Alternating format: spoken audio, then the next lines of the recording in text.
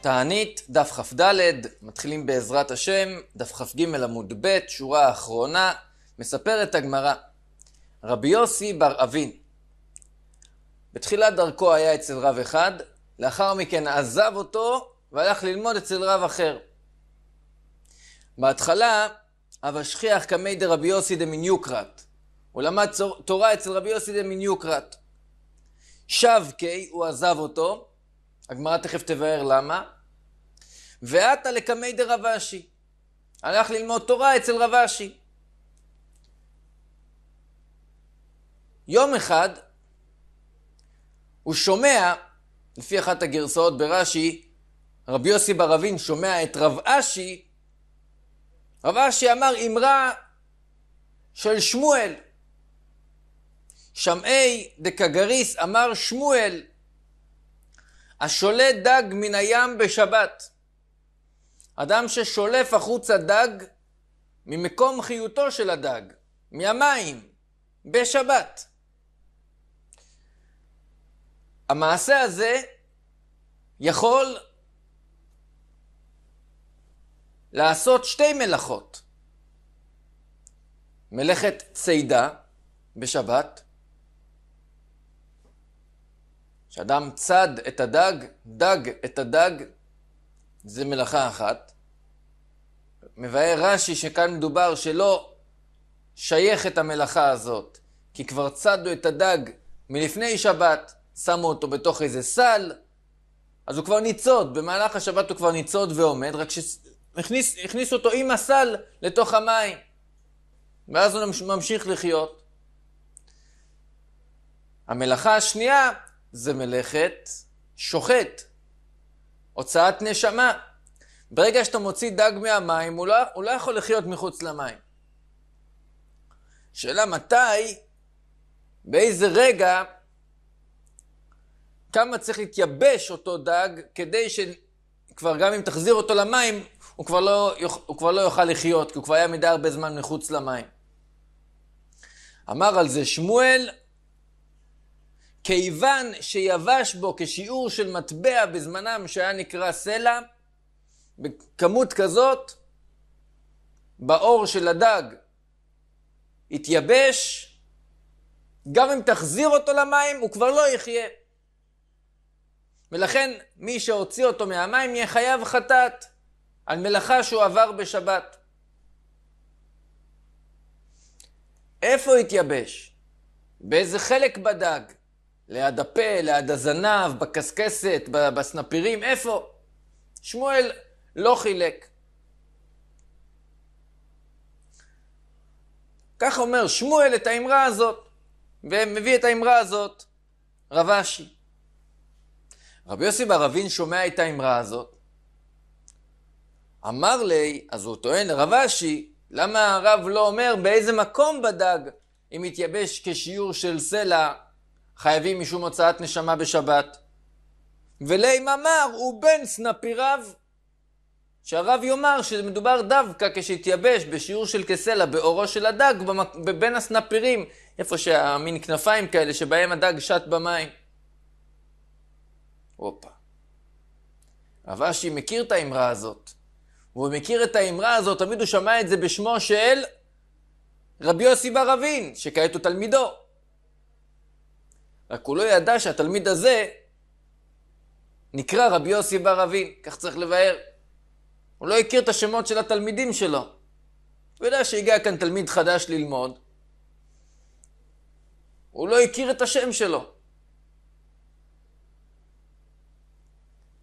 או שהוא לא ראה אותו באותו זמן, את רבי יוסי בר אבין.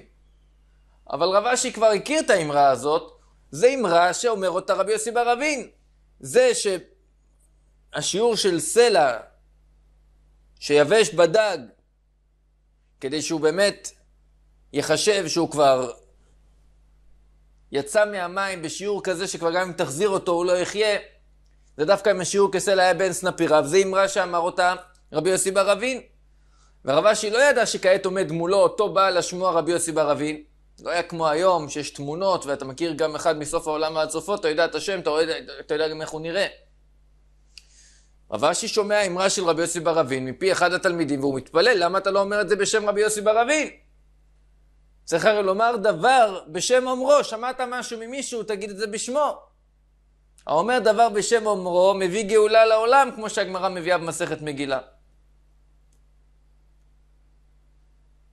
אז לכן שואל רב אשי את רבי יוסי בר אבין, אמר לי, ולא סבר למר דהי רבי יוסי בר רבי אבין, אמרה, וכי אתה לא סובר שאת האמרה הזאת אומר רבי יוסי בר רבי אבין? למה אתה אומר את זה בשם עצמך?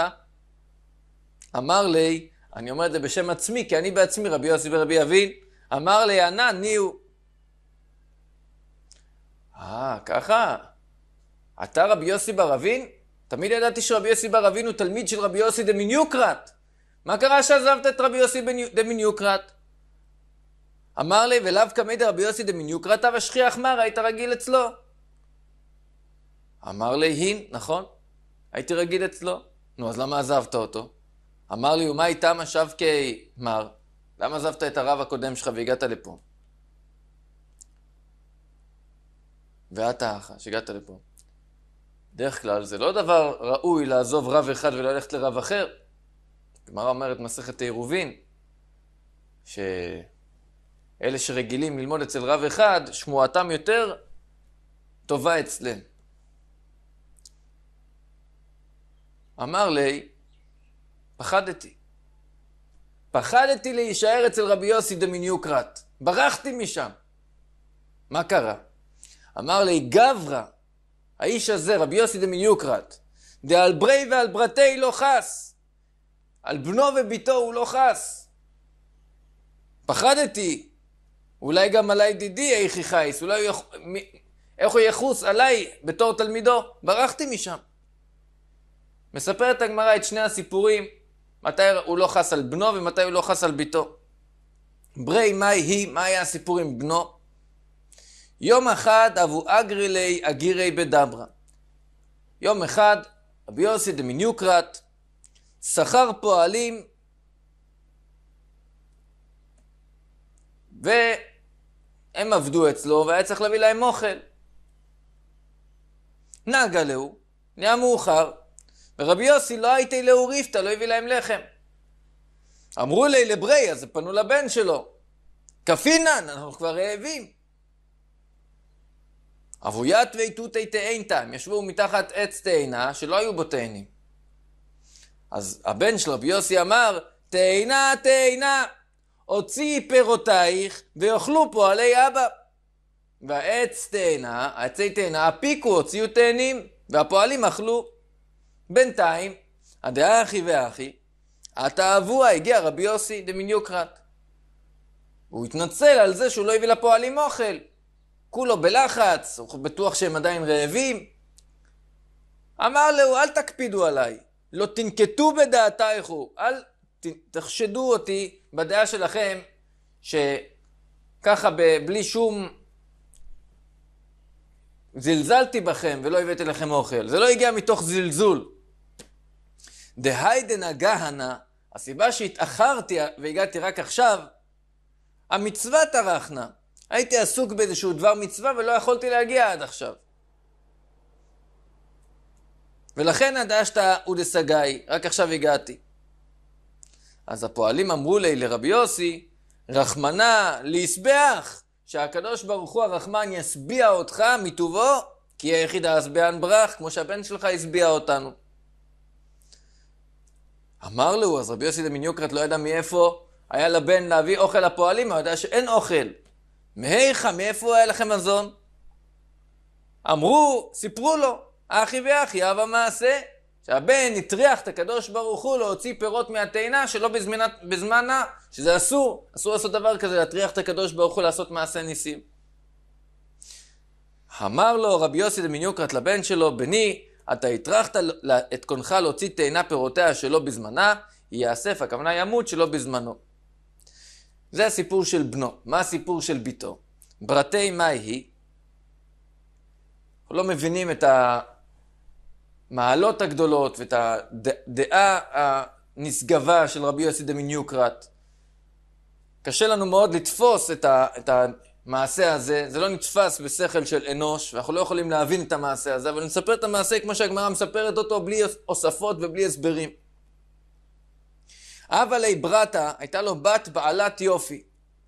יום אחד חזיה לאהו גברא, רבי יוסי דמיניוקרט רואה איזה איש אחד, דאבקריה בהוצה, הוא עשה חור בגדר עץ שהייתה, וכחזי לה, הוא הסתכל עליה. אמר לו, מהי היי? שאל אותו, מה אתה מסתכל?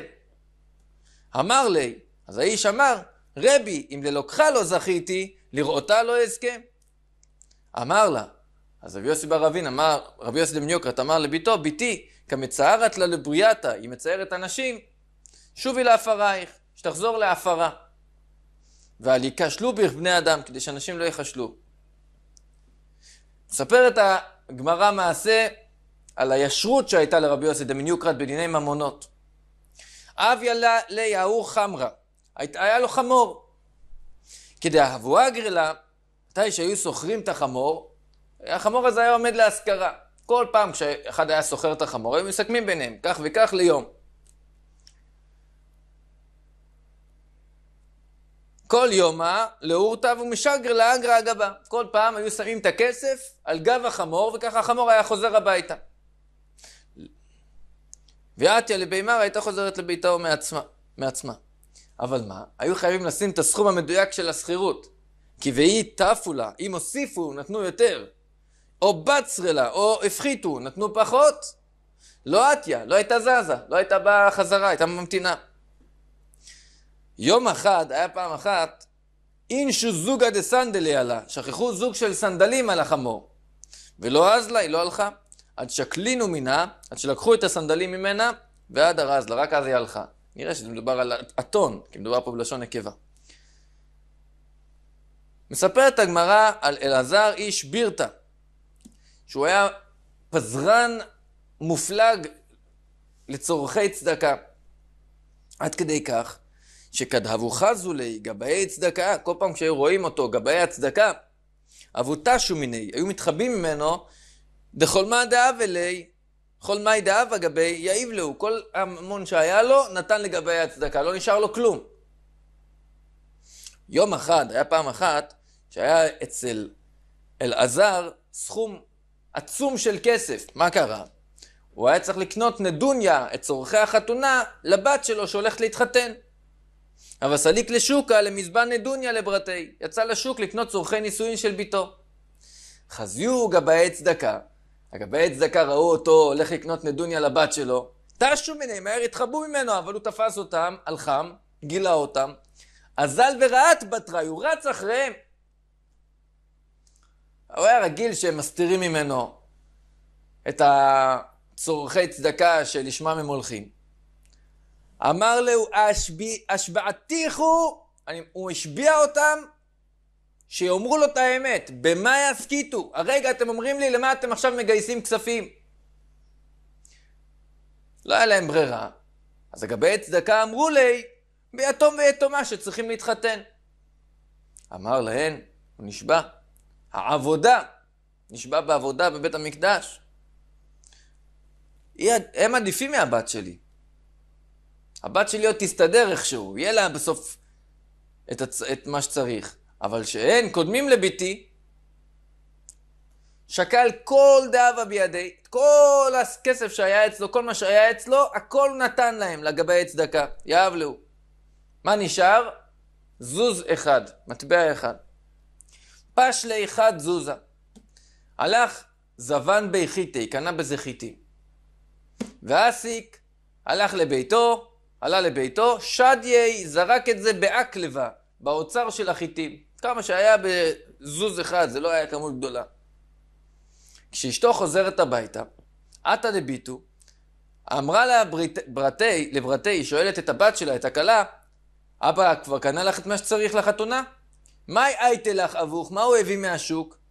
אמרה לה, לא כל כך הסתכלתי מה הוא הביא, רק ראיתי שכשהוא חזר מהשוק הוא זרק את הכל לאוצר של החיטים. כל מה דהייתי, כל מה שהוא הביא, באקלב אשדיתי, הוא זרק את זה שם באוצר. אז אשתו הלכה להסתכל מה הוא קנה. אולי זה בגדים, רהיטים, כלי בית, בואו נראה מה הוא קנה. אתיה למפתח בבא דאקלבה, היא באה לפתוח את הדלת של האוצר, הדלת לא נפתחת. כל כך זה היה מלא. חזה דאקלבה דמליה חיטי, היא הייתה, ראתה שהאוצר כל כך מלא וגדוש בחיטים, זה היה נס. כי הוא שם שם בקושי כמה חיטים, וכל האוצר התמלא בחיטים. עד כדי כך, וכנפקא בצינור הדדשה, גם מהחור של הדלת יוצא חיטים. ולא מפתח בבא מחיטי, מרוב החיטים הדלת לא נפתחת. כנראה שהבת הכירה את אבא שלה קצת. גם אם היא לא הכירה את אבא שלה, היא יודעת שאבא לא הביא פה אה, מחסן שלם של חיטים, לא, היא לא ראתה פועלים שמעמיסים סחורה בתוך האוצר. אבל היא גם תפסה שכנראה האבא העביר חיטים, ונהיה פה ברכה מיוחדת, נס גדול שהאוצר יתמלא. רצה מהר לבית המדרש. הבת שלו, הכלה, אז לברתי לבי מדרשה, אמרה לי, בוא וראה מה עשה לך אוהבך, תראה מה הקדוש ברוך הוא החזיר לך. אז אלעזר איש לא רצה ליהנות מהניסים האלה.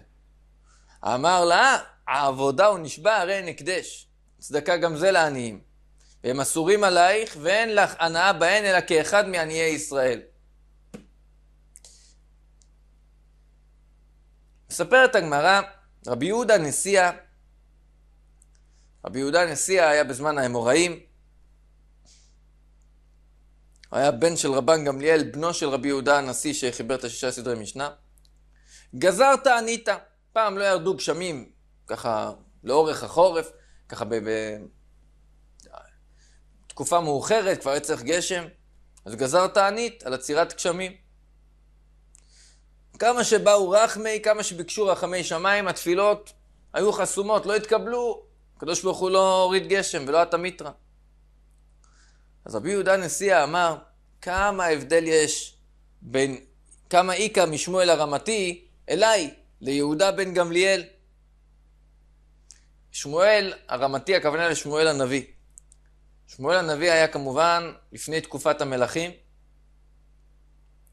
פעם היהודים פנו אליו, אנחנו רוצים מלך. אמר להם, לא טוב ביקשתם. וההוכחה לזה, עכשיו זה זמן של הקיץ. אני אבקש שירדו גשמים בקיץ, ואתם תראו שירד גשם. ומזה תבינו שמה שביקשתם זה לא הייתה בקשה טובה. אבל בכל זאת הוא הביא להם מלך גם כן, אז, אז המליכו את שאול המלך.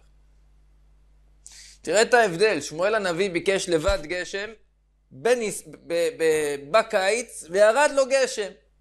תראה את ההבדל בינו לביני, שאני גוזר תענית ברבים, ובכל זאת לא יורדים גשמים. אפילו שזה גם זמן הגשמים. אוי לו לדור שכך נתקע עם כזה מנשיא שלא שומעים את התפילה שלו. אוי לו למי שעלתה בימיו כך. חלש דעתי, ומאוד מאוד הייתה לו חלישות הדעת לרבי יהודה נשיאה. עם החלישות הדעת הזאת, עטה מיתרא. הספרים הקדושים מביאים מהמעשה הזה וממעשים נוספים דומים לזה שנראה בהמשך את הכוח העצום שיש לחלישות הדעת. שכשלא שלא יהיה לאף אחד חלישות הדעת, אבל כשאדם חווה דבר כזה, שיקבל את זה באהבה, ושידע שהזכות שלו היא גדולה מאוד, כי החלישות הדעת יכולה להביא גם ישועות וגם כפרת עוונות וכל הדברים הגדולים מאוד. אומרים שזה אפילו יותר גדול מתענית, כי הרי על ידי התענית הם לא זכו שירדו גשמים, וכשהייתה לרבי יהודה נשיא חלישות הדעת, ירדו גשמים. רואים את המעלה הגדולה של חלישות הדעת שהיא גדולה יותר מתענית. מאוד קשה בדור החלש שאנחנו נמצאים בו להתענות הרבה תעניות. אבל לצערנו הרב, חלישות הדעת, לא בטוח שהקדוש ברוך הוא מאוד הרבה מונע מאיתנו. אז כל פעם כשיש חלישות הדעת, לקבל את זה באהבה ולדעת שזה, יש בזה מעלה גדולה מאוד וכוח עצום לחלישות הדעת. מספרת הגמרא מעשה נוסף, דבי נשיאה גזר תעניתא. פעם מבית הנשיא גזרו תענית בגלל עצירת גשמים. כך משמע.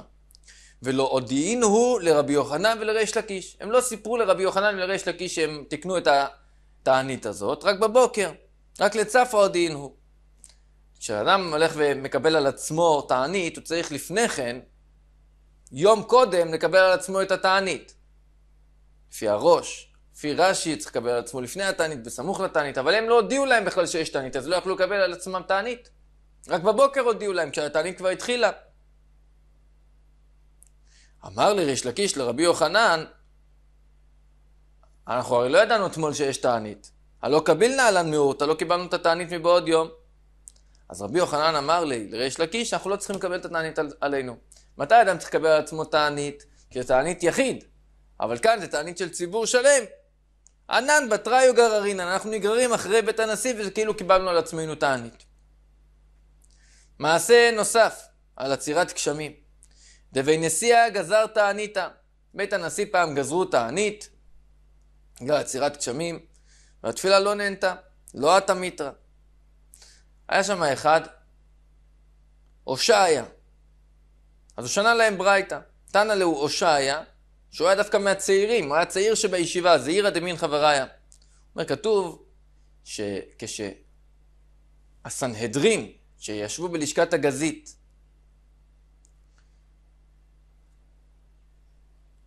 עלתה בפניהם שאלה על חלב מסוים, על סוג שומן מסוים, האם מותר באכילה או אסור באכילה למשל. והם הלכו בטעות והתירו. והציבור הלכו ועשו על פיהם. אכלו את החלב הזה. התברר שזה אסור, אז הסנהדרין עצמם צריכים להביא כפרה. מה הם מביאים? פער העלם דבר של ציבור. כתוב שם, והיה אם מעיני העדה נעשתה לשגגה. אם הזקנים שהם עיני העדה שגגו, הורו הוראה בטעות והלכו הציבור ועשו על פיהם, צריכים להביא פער אליהם דבר של ציבור. כתוב עיני העדה. משל לכלה שהיא בבית אביה. כל זמן שרואים שעיניה יפות, אין כל גופה צריכה בדיקה. אבל אם עיניה טרוטות, אז כל גופה צריכה בדיקה. מתכוון לומר שאנשי הנשיא הם עיני העדה. ואם הם לא הגונים, אלא רשעים, אז ודאי שהמון העם גם כן לא בסדר. וזו הסיבה שהתפילה שלכם לא מתקבלת. אל תתפלאו. קיצור, אמר להם ככה, מוסר ישר.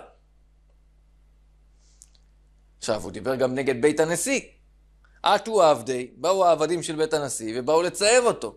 רמו סודרה בצווארי, כרכו סודר סביב הצוואר שלו. וכמצערו לי, ציירו אותו על זה שהוא דיבר נגד הנשיא. אז אמרו לי בני מעטי, בני העיר של רבי שיה, אמרו לאנשי בית הנשיא, שבקי, עזבו אותו. אל תחשבו שהוא עושה את זה בגלל שהוא רוצה לצייר אתכם. כל מעשיו לשם שמיים שתדעו. דהנמי מצייר לנו, בהתחלה הוא היה מחרף אותנו, מגדף אותנו, היה מצייר אותנו, וגם כן אנחנו, זה היה קשה לנו מאוד. רק מה? כיוון דחזינן דכל מילי לשום שמיים, כשראינו שכל מעשיו הם לשם שמיים, אין לו איזושהי הנאה מיוחדת בזה שהוא, מצ... שהוא תופס אותנו בקלקלתנו ודברים כאלו, הוא עושה את זה באמת מתוך כוונות טהורות. לא אמרינן לי ולא מידי, אז אנחנו כבר לא עונים לו. משווקינן לי, אנחנו מניחים אותו. אתון נמי שווקו, גם אתם, תדעו לכם שהוא עושה את כל מעשיו לשם שמיים, אל תצערו אותו על מה שהוא דיבר נגד בית הנשיא. מספרת הגמרא, רבי, רבי יהודה הנשיא, מחבר השישה סדרי משנה, מחבר המשניות, גזר תענית. פעם באחת העצירות גשמים, הוא גזר תענית כדי שירדו גשמים, ולא עטה מיתרא. על אף שהטענו, השמיים עדיין היו בלי עננים, לא ירד גשם. נחית קמי אילפה, ואמרי לרבי אילפי, ירד לפני התיבה, או אילפה או רבי אילפי, רק אמר משיב הרוח, ונשיב זיקה, פתאום התחיל רוח. אמר מוריד הגשם, ואתה מיתרא מיד ירד גשם. רבי התפעל. עשינו פה תענית, כולנו, ולא ירד גשם, אתה רק אומר משיב הרוח, רוח! מוריד הגשם, יש גשם. תספר לנו מה מעשיך, אנחנו רוצים ללמוד ממעשיך הטובים. אמר לי, מהי עובדך? מה המעשים הטובים שלך? אז אילפה סיפר לו, אמר לי, דייר נא בקוסטה, הכוונה כפר, דחיקה, שיש שם דחקות ועניות. עד כדי כך, דלת בי חמרה, אין שם יין. אז אין יין בסדר, אבל אין גם יין לקידושה והבדלתא, קידוש והבדלה. גם לי אין יין. בתוך עמי אנוכי יושבת. אבל מה? שאני לא אעשה קידוש והבדלה? טרחנה ועתינא חמרה לקידושה והבדלתא. אני טורח להביא יין לקידוש ולהבדלה. ולא רק דואג לעצמי. אני בבית כנסת, או שאני אוסף את כולם, ומפיקנה לו ידי חובתי הוא. אני מוציא את כולם ידי חובת קידוש והבדלה. רואים מפה את המעלה הגדולה של קידוש, של הבדלה, של לדאוג לאחרים. הוא זכה שתפילתו התקבלה. מספרת הגמרא מעשה נוסף, רב, איקלה לאוואטרה. פעם הוא הזדמם באיזה מקום שגם שם הייתה עצירת גשמים. יש עצירת גשמים, מה עושים? גזרת ענית, גזרת ענית, והתפילה שלו לא נענתה ולא אתה מיתרא. נחית קמי ירד לפני התיבה שליח ציבור פשוט. שליחא דציבורא. אמר משיב הרוח, נשב זיקה. אמר מוריד הגשם, ואתה מיתרא, ירד גשם. אז רב התפעל, אמר לי, תספר לנו מהי עובדיך, מה, מה המעשים הטובים שאתה עושה. אמר לי, אני אספר לך. מקרי דר דכהנא. אני מלמד תינוקות, מלמד תורה את בני ישראל. ומקרינה לבני עניי כבני עתירי. אני מלמד תורה את בני העניים כמו בני העשירים. אני לא מלמד רק את בני העשירים שמשלמים, אלא גם את בני העניים שלא משלמים. וכל דלא אפשר לי לא שקילנה מיני, מידי. כשאני רואה אחד שאין לו כסף לשלם שכר לימוד, אני לא גובה, לא גובה ממנו שכר לימוד. זה מעלה אחת. ועוד, איתלי פיירא דקברי. יש לי בריכה של דגים קטנים. וכל מאן דפשע, כל ילד שלא רוצה ללמוד. אני לא נותן לו מכות. לא מבייש אותו בפני כולם. לא לוחץ אותו. בדרכי נועם. יש פיוט שאומרים אותו בליל שבת. מהידידות מנוחתך עד שבת המלכה. אומרים שם בהמשך, ותינוק ללמדו ספר, למנצח בנגינות. מן הסתם יש פירוש פשוט למילים האלה. אבל פעם חשבתי, אתה רוצה ללמד ספר את התינוק, תעשה את זה על ידי למנצח בנגינות, על ידי שירים, באווירה טובה ונעימה. אם הוא לא רוצה ללמוד, משחדין עלי מנהיו, אני מפתה אותו, אם אתה תלמד יפה, תקבל דגים. זה כבר משהו אחר. ומסדרינן לי, אני נותן להם לסדר את הדגים, ומפייסינן לי, ואני מפייס את דעתו, עד דעתי וקרי, עד שהוא בא מרצונו, בשמחה, לעסוק בתורה. זה המעלה הגדולה של מלמדי תינוקות. מלמדי תינוקות, המעלה שלהם עצומה ונשגבה. דווקא הוא, כשהוא עמד לפני התיבה, רק אמר משיב הרוח, יר... נשב... נשבה הרוח. רק אמר מוריד הגשם, ירד גשם. כשעושים את המלאכה שלהם באמונה, הם מעמידים את הדורות הבאים. מעשה נוסף, רב נחמן פעם הייתה עצירת גשמים, גזר תענית, גזר תענית, בהר רחמי, ביקש רחמי שמיים, התפלל, התפילה לא התקבלה, ולא התמיתרא, לא ירד גשם. אז רב נחמן אמר, שקלו עלי נחמן, אמר על עצמו בענווה, תיקחו את נחמן, חבוטו מנגודה להרה, תשליכו אותו מהקיר או מהגג לרצפה. יש מבארים, הכוונה תורידו אותו מגדולתו. חלש דעתי, הייתה לו חלישות הדעת. שהתפילות שלו לא מתקבלות, התעניות שלו לא מתקבלות. ומהחלישות הדעת הזאת, את המיתרא. הגיע הגשם. מעשה נוסף, רבה, בספר מצפה איתן אומר שהכוונה רבה, כי במסכת מועד קטן, כ"ח עמוד א', מובא שדווקא בזכות רבה כן הגיע הגשם. בכל אופן היה מעשה שהחכם גזר תעניתא בגלל עצירת גשמים, הוא גזר תענית. ואפילו שהוא בא רחמי, ביקש רחמי שמיים, ולא עטה מיתרא, לא ירד גשם. אמרו לי, אז שאלו את הרב, איך כשאתה גוזר על הגשמים, לא יורדים גשמים? והרב יהודה, כי אבל גזר תענית, כשהוא היה גוזר תענית, כן היה יורד גשם, ואת המיתרא. אז אמר להם, אמר לו, מה יעביד? מה אני אעשה? זה לא תלוי בי. זה תלוי במעשיהם של בני הדור. אם משום תנויי, אם תאמרו שבדורו של רב יהודה הוא למד יותר תורה, זה לא נכון. ענן עדיף פינן מנהיו. הדור שלנו, אנחנו, בני התורה, לומדים תורה יותר מהם. דבשני דרב יהודה, בשנים של רב יהודה, כל תנויי בנזיקין אהבה. בעיקר הם היו עוסקים את עיקר תורתם בסדר נזיקין.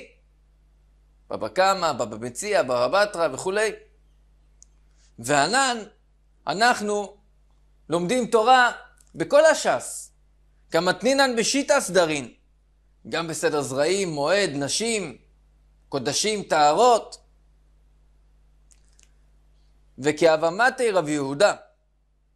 רב יהודה, כשהוא היה מגיע למשנה בסדר, במסכת טהרות, שעוסקת בענייני עוקצין, הכוונה עוקץ של פרי, של ירק, שאפשר להרים אותו עם העוקץ הזה, והוא יכול להיחשב שהוא מצטרף לפרי. אם ייגעו בעוקץ, אדם טמא ייגע בעוקץ, אז לא רק העוקץ נטמע, אלא כל הפרי נטמע. אם אדם טמא נוגע בפרי, אז גם העוקץ נטמע. אבל זה בתנאי שהעוקץ מחובר כל כך לפרי, שאתה יכול להרים עם העוקץ את כל הפרי, והעוקץ לא נתלש. אז כתוב שם, האישה שכובשת ירק, היא סוחטת ירקות בתוך קדרה, שעל ידי שיצאו הנוזלים מתוך הירק, יהיה אפשר לשמור אותו ליותר זמן. היד, העוקץ, נשבר, נחלש, ואז הוא כבר לא נחשב חלק מהירק.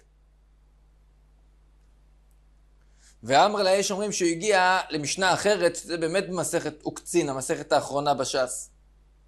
זיתים, שם כתוב זיתים, שכבשן, הוא כבש אותם בתוך מים עם מלח או חומץ, שם אותם לכבישה ביחד עם טרפיהן, עם העלים שלהם, שהם גם אמורים להיות כמו יד לזיתים. אפשר להרים את העלים ואיתם להרים את הזית. אבל אחרי שאתה כובש את הזיתים למשך זמן, אז מתרככים העלים והגבעולים, ואם אתה מרים את, העלה והגבעול, הזיתים נשארים למטה, אתה נשאר עם, עם העלה לבד ביד. זה נתלש, מחמד שהוא יתרכך. לכן, העלים טהורים, כי הם לא ראויים יותר להיות יד לזיתים. אלה המשניות, שכשהגיע אליהם רב יהודה, לאחד מהם, אמר, קשה מאוד להבין את המשניות האלה על בוריים. הוויות, קושיות עמוקות דרב ושמואל, רבותיו של רב יהודה היו רב ושמואל. הקושיות העמוקות של רב ושמואל שהיינו מתעמקים בהם במהלך השיעורים, כחזין האח, אני רואה שיש כאן. אני, מאוד קשה לי להבין את המשניות האלה על בוריים. כמובן מדובר פה יותר לעומק ויותר ליישב את המשניות אחת עם השנייה ולתרץ את כל הקושיות על המשניות האלה. הוא היה צריך מאוד להתאמץ כדי להבין את המשניות האלה. ואילו ענן, כמתנינן בסדר וקצין, מסכת הזאת, בתלי תרמטיבתא, 13 ישיבות, כן, ישיבות, קבוצות קטנות, או ב-13 אופנים. זאת אומרת שאנחנו לומדים יותר תורה מרב יהודה. אז, ואילו רב יהודה, כשהייתה עצירת גשמים, כי אבשליף חד מסנה, הוא רק היה חולץ נעל אחת כדי לבוא לעשות איזשהו תענית, כבר רתי מיתרא היה יורד גשם. וענן, אנחנו כצווחינן, זעקות אנחנו צועקים, בשביל לבקש מהקדוש ברוך הוא שירחם עלינו ויוריד גשמים. כולי יום, היום שלם. נהיו שם צרודים, אולי. ולקדש גחבן, אף אחד לא, לא רואים שמישהו שומע את תפילותינו, ודאי ששומעים, אבל לא נענים לתפילתנו. תורה, היום יש יותר מפעם, הוא אומר, מרב יהודה. אז אולי תגיד מעשים טובים? אם משום עובדה, אולי המעשים שלנו לא טובים? איכא דחזי מידי, אם יש מישהו שרואה משהו שהוא לא בסדר, שאנחנו מתנהגים משהו לא בסדר, אדרבה, לימה, שיבוא ויאמר. זאת אומרת שאין, לכאורה. אבל מה יעשו גדולי הדור שאין דורן דומה יפה? הבעיה הוא בדור, לא בגדולי הדור. ובגללם אנחנו לא יכולים לפעול שירדו גשמים. מה היה אותו מעשה שאמרנו שרב יהודה, כשהוא ביקש, רק הוריד נעל אחת וירדו גשמים. אז הגמרא מספרת את זה פה. רב יהודה חזה אנו ביתרי, הוא ראה שני אנשים שמזלזלים באוכל, מבזים את הלחם. דאבו כפרצי בריפתא, היו משחקים עם הלחם, זורקים אותו כמו כדור אחד לשני. אז רב יהודה אמר, אם כל כך מזלזלים בלחם, שמע מינא איכא סבא בעלמא, יש יותר מדי שובע בעולם. יאיב עיני, רב יהודה נתן את עיניו, הווה כפנא. שלא תקום פעמיים צרה, נהיה רעב. נו, קשה מאוד. היה רעב, נמשך ונמשך ונמשך ולא הפסיק. מה עושים? אמרו לי רבנן לרב כהנא, שאותו רב כהנא היה בריידר רב נחוניה. שאותו רב כהנא, שהיה בנו של רב נחוניה, היה שמאי, היה משמש בקודש את רב יהודה. רב יהודה היה עסוק בתורה ועבודת השם בביתו, בבית המדרש, הוא לא יצא החוצה לשוק. הוא אפילו לא היה מודע לרעב הנורא שהיה בחוץ. היו צריכים להשפיע שהוא יצא החוצה. אז אמרו למשמש בקודש, ניאס יהי, תגרום לו דליפוק בפיתחא דסמוך לשוקה, שיצא פעם אחת בפתח שסמוך לשוק, שיראה איך נראה בשוק, את הרעב הנורא. אסייי, באמת הוא השפיע עליו שיצא דרך השוק, ונפק לשוקה, הוא יצא לשוק. רב יהודה ראה, חזה, כינופיה, אנשים מתכנסים. שאל מה זה, יש פה איזה שיעור? מה כולם פה מתכנסים?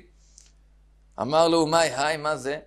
אמרו לי, אנחנו פה כולנו עומדים בתור, הכוספא דתמרי קיימי, בשביל לקבל, בשביל כלי שיש פה שהוא מלא בתמרים. כן, בבבל היה כמות עצומה של תמרים. היה שם הרבה דקלים. איך יכול להיות שעומדים בתור פה בשביל לקבל תמרים? כמזדמן. אז רבי יהודה אמר, שמע מינא, מזה שכולם נדחקים בשביל קצת תמרים, כנראה שיש כפנה בעלמא, יש רעב בעולם. אמר לי לשמאי, אז אמר לה משמש בקודש, אם יש רעב, אם יש עצירת גשמים, צריך לעשות תענית. שלוף לי מסניי, תחלוץ לי את הנעליים, בשביל הצער על הרעב. שלף לי אחד מסנה, כשהוא הוריד לו רק נעל אחת, פלא פלאים. ועתה מיתרא, התחיל לרדת גשם. כמעט למשלף אחרינה, הוא הגיע לחלוץ את הנעל השנייה, עתה אליהו, בא אליו אליהו הנביא ואמר לי, אני רוצה לספר לך מה שאמר עכשיו הקדוש ברוך הוא. אישלפא תחרינה, אם אתה עכשיו מוריד את הנעל השנייה, מחריב נא לעלמא. הקדוש ברוך הוא אמר שהוא יחריב את העולם אם אתה תוריד את הנעל השנייה. אותו רגע ירדו גשמים, אבל גם אותו רגע הפסיק הרעב. לוקח הרי לשדה עד שהיא מצמיחה את התבואה. אין להם זמן להמתין עד שיצמח תבואה. איך הרעב הפסיק מיד?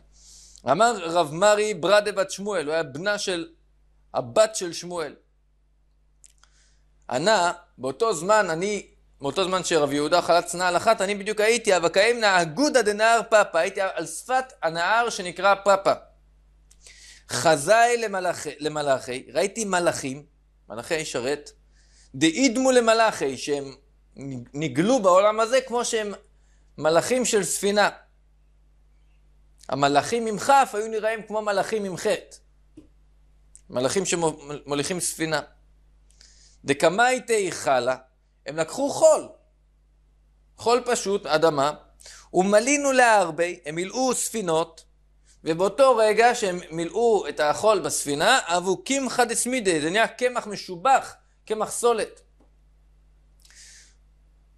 הביאו את הספינות האלה ליישוב, ועטו כולי עלמא למזבן, באו כולם לקנות מהקמח הזה. אז רב יהודה אמר לו לכולם, מה לא תזבנון, אל תקנו מהקמח הזה. למה? זה מעשה ניסים הוא, עדיף להתרחק ממעשה ניסים. לא ליהנות מדברים שנעשו על ידי נס. למחר, אתיי ארבי דחיתי, הגיעו ספינות עם חיטים ממקום שנקרא פרזינה, דפרזינה. מספרת הגמרא מעשה נוסף. רבה איקלה לאגרוניה, הגיע למקום שנקרא אגרוניה. כשצדיק מגיע לעיר, פועל שם ישועות. ראה שאין שם גשם, גזר תענית, אמר כולם צריכים להתענות, אבל תפילה שלו לא נענתה ולא עתה לא הגיע גשם. אז רבא אמר לאנשי אגרוניה, אמר לו, ביטו כולה עלמא בתניתייכו. אל תשברו את הצום, אל תפסיקו את הצום, תמשיכו את הצום ותלכו לישון רעבים. ביטו הכוונה תשנו, כולי עלמא, כולם בתעניתייכו תוך כדי התענית, אל תפסיקו את התענית. ומחר אמר לו, שאל אותם, מאיכא דחזי חלמה, האם מישהו פה מאנשי העיר אגרוניה חלם איזה חלום מיוחד הלילה? ואם כן, לימה, שיאמר מה שהוא חלם. אמר לו רבי אלעזר מאגרוניה, לדידי הקריון בחלמאי. אני ראיתי חלום הלילה, שאמרו לי בחלום, שלם תו, שלום טוב, לרב תו, לרב טוב. מריבון תו, מהאדון הטוב, מטובי מיטיב לעמי, שמטובו הוא מיטיב לעמו. ככה חלמתי. רב השמח. אמר, שמע מנה את רצון הוא, את רצון היא. שמע מנה שזה זמן של רצון, בוא נתפלל עכשיו. עכשיו נתפלל. מי באי רחמי, עכשיו זה את רצון לבקש רחמים, באי רחמי, באמת הוא ביקש רחמי שמיים, ואתי מיתרא הגיע הגשם. מספרת הגמרא, ההוא גברא דהתחייב נגדה, התחייב מלקות בבית דינא דרבא, בבית דינו של רבא. מה קרה? שום דבעל, נוכרית. נגדי רבא, היכה אותו. לא התכוון שהוא ימות, אבל מת. השתמע מילתא בישבו מלכה. שמעו את זה בביתו של המלך, שבור, אני חושב שהוא היה מלך פרס. בא לציורי לרבה, רצה לצייר את רבה, להעניש אותו. אמרה לי, איפרא אורמיז, שהייתה, זה היה השם שלה, הייתה אמו, אימי דשבור מלכה. אמרה לבן שלה, תשמע לי, אמרה לברה, לא לאבה לך עסק דברים בעד יהודאי. אל תתעסק לרעה עם היהודים. דכל מן דבעיה מן מראיו, כל מה שמבקשים מהקדוש ברוך הוא אדונם, כל דבר יעיב לו, נותן להם, אל תתעסק איתם. אמר לה, מה היא? מה את כל כך מתפעלת מהם, שמבקשים כל דבר ומיד הם נענים?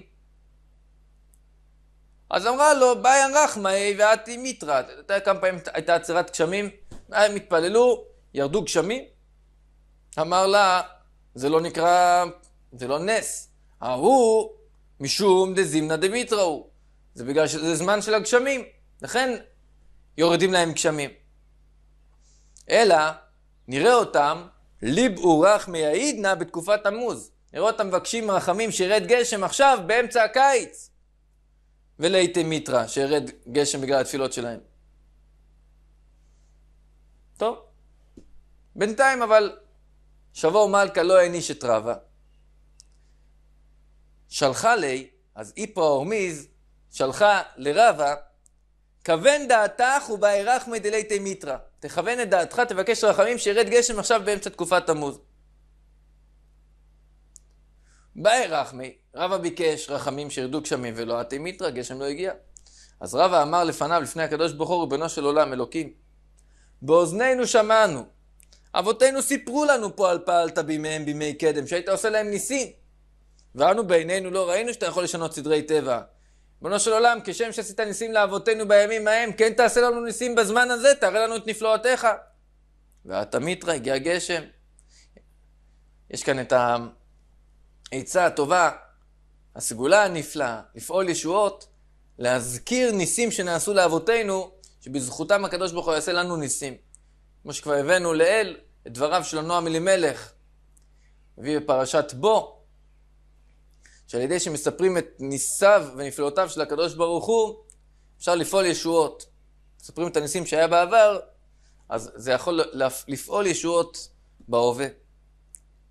ועתה מיתרא, באמת ירדו גשמים, אחרי שהוא הזכיר את הניסים שהקדוש ברוך הוא עשה בעבר. עד דשפוך מרזבי דמחוזה גורסים פה, כי רב היה רב של מחוזה. המרזבים מהגגות של, של הבתים שפכו כל כך הרבה מים עד לדיגלת, עד לנהר החידקל. הגיע אביו של רבא אליו בחלום, עתה אבוה התחזה לי בחלמי, ואמר לי, מי איכא דמטרחקא מישמעיה כולי, וכי יש אדם שמטריח כלפי מעלה את הקדוש ברוך הוא להוריד גשם בתקופת תמוז, אתה יודע איזה שינוי טבע צריך לעשות בכוכבים, במזלות וכולי, זה סיפור מאוד לא פשוט להטריח את הקדוש ברוך הוא על דבר כזה, כביכול. לכן אמר לי, אמר אביו לרבה, ניתן לך עצה טובה. שני דוכתיך, תשנה את המקום שבו אתה ישן בלילה. שני דוכתי, רבה שמע לאביו, והלך לישון במקום אחר באותו לילה, לא איפה שהוא רגיל לישון. והמיטה שלו הייתה ריקה. למחר, כשהוא הלך להסתכל על המיטה איפה שהוא רגיל לישון כל לילה, אשכחי, הוא מצא את המיטה שלו, דמרשם פוריה, פוריה בסכיני. הוא ראה שיש במיטה שלו סימן של סכין, שהמזיקים רצו להרוג אותו על זה שהוא הטריח כלפי הקדוש ברוך הוא. מספרת הגמרא, רב פאפא גזר תענית על עצירת גשמים. ולא נענה בתפילתו, ולא עטה מיתרא, לא ירד גשם. אבל הוא היה כל כך חלש כבר, נחלש לו הלב, חלש ליבי, הוא היה חייב לאכול משהו. שרף פינחה דדייסה, הוא אכל כף דייסה. ואחר כך באי רחמי, ביקש רחמי שמיים, תפילתו לא הועילה עדיין, ולא עטה מיתרא, לא ירד גשם. אמר לי רב נחמן ברושפזתי, הכוונה בא הבן של בעל, בעלת האכסניה שלו. הוא רצה ככה לצייר, הוא עשה את זה לשם שמיים, הוא ידע שאם הוא יצטער בזכות זה ירד גשם. איסריף מר פינחה אחריתי דדייסה, אם הרב יאכל עוד כף של דייסה, אתי מיתרא, אז אולי ירד גשם. זאת אומרת, הוא בא לרמז לו, זה נקרא תענית, שאוכלים כף של דייסה, אולי בגלל שהרב אכל כף של דייסה, לכן התענית לא הועילה ולא יורדים גשמים. אם הרב יאכל אולי עוד כף, אולי אז ירדו גשמים. צייר אותו. ורבא החשיף, אה, רב פאפא החשיף, הוא באמת, הייתה לו מזה בושה.